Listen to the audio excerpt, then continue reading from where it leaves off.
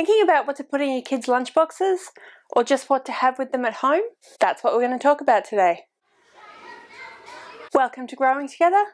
My name is Mel. Alright guys, so in this video we're going to talk again about lunches, different ideas that you could put in kids' lunchboxes as well as different things that you could have at home. So in the last episode of this series I talked about different things that you can cook and freeze and put in lunchboxes or as we said have at home.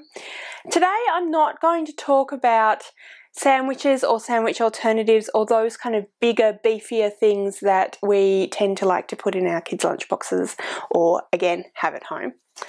Um, today I'm actually going to talk more about some different alternatives for snacks. So in the last episode I did suggest putting in some dips like hummus or tzatziki and chopped up vegetables for your kids to have with those dips. First of all, carrot and cucumber are usually the go-to choice for this and they are great, easy to cut up, easy to store, easy to chuck into a container of any description, send along with your children to school for lunch or take down to the park for a snack or have at home on the couch or at a table or whatever. So there's actually a variety of vegetables that you can use as well as or instead of the tried and true carrot and cucumber.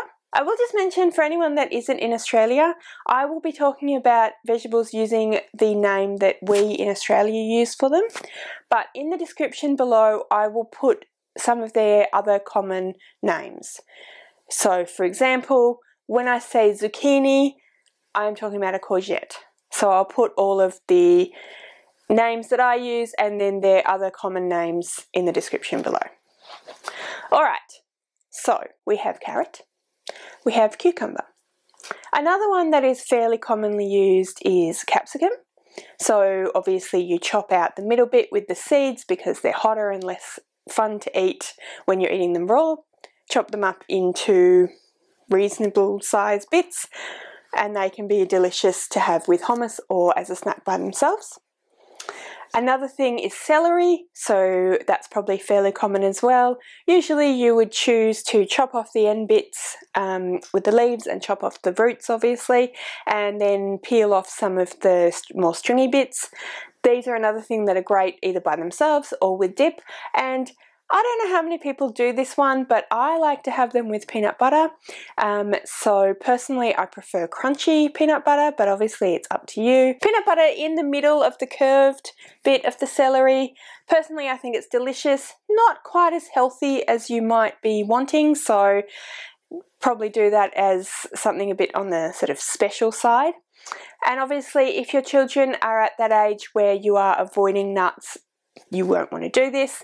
And if your children are allergic to nuts, obviously, again, you won't want to do this. And if people just don't like it, then ignore me. All right, so we have, so far, we have carrot, we have cucumber, we have capsicum, we have celery. Now I'm going to get into some more of the vegetables that maybe aren't necessarily as commonly used in this manner, uh, but are really great nonetheless, chopped up and like I said, had either by themselves or with some dip. So the first of these is the zucchini. So much like a cucumber, you chop off the ends, chop it in half, chop it into small, smallish pieces that can be easily dipped. Uh, this is a vegetable that is usually cooked, but it's actually really great raw as well, so definitely recommend it. Then we have a parsnip. This is one that is often thought of as the kind of vegetable that most people don't like. It's used often by British people in um, roasts, but I know a lot of people would kind of not really like the parsnip, but it's actually a great to go with carrot or as an alternative to carrot. It's crunchy like a carrot. It's a little bit tart. So if your children don't like tartish um, taste, then probably avoid it. But in general, it's very diverse. You can you would peel it, chop off the end bits, and yeah, chop it up and use it. Like I said, either with a carrot or instead of a carrot. I don't actually have one with me, but very similar to the parsnip is the swede. Same thing again. Any of that kind of root vegetable that looks vaguely like this, you can get lots of different um, types of coloured carrots. You can get lots of different types of swede, I think, and parsnips, so those are all good options. Next up we have cauliflower and broccoli. These are the two vegetables that are usually cooked and served maybe with, with uh, white sauce and cheese, which of course is delicious, or in a stew or something like that, in a curry. There's all sorts of things you can do with either. And of course, they're both delicious raw. So again, chop them up so that they're easy to hold and chuck them in a container or whatever. Then we have snow peas or beans. Uh, there are lots of different kinds of beans, so you could be talking about snap beans or you'd be talking about butter beans, all of those sorts of beans that have the long sort of pod, and they can all be eaten raw and they're completely delicious. So any of those you would really just need to chop the ends off and get the stringy bits out and again throw them in and away you go. So these are some great alternatives to the standard cucumber and carrot, although of course always use the cucumber or carrot when you want to because they are great as well. And they are delicious and it means that you can have different vegetables and you can rotate them so that you don't have to just have carrot and cucumber all the time or you don't have to only do the, the veggies once a week. You can rotate them and have cucumber and carrot one day and then uh, snow peas and swede another day and then zucchini and broccoli another day and so on. Now I've mentioned a few times putting them with different kinds of dips and obviously last time I talked to you about hummus and I talked to you about tzatziki both of which are completely delicious dips and really quite healthy easy to put into a container or just straight into a lunchbox and easy for kids to dip in. There are of course lots and lots and lots of different variety of dips. They're usually in the sort of cheese area of your supermarket so go and check those out um, but some others that I would suggest as lovely alternatives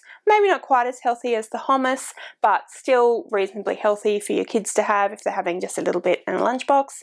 So we have an avocado dip, we have a spring onion dip, we have a French onion dip, we have a corn relish. Those sorts of dips are usually reasonably cheap and definitely delicious. Go with all of those different veggies. Of course, they also go with crackers as well, so you could have veggies and dip one day and crackers and dip the next, however you want to do it. That is a really great snack that you can throw into your kids' lunchbox and they're easy to prepare. You can prepare the night before. You could even prepare your veggies two or three days in advance because of course if you put if you chop them up and put them in the container, put them back in the fridge until they need to be used, you've got a few days leeway with a veggie chop like that. Alright guys, so that is my lunchbox ideas for this week.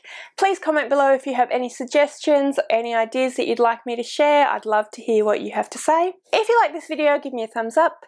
Don't forget to subscribe to my channel and I'll see you later.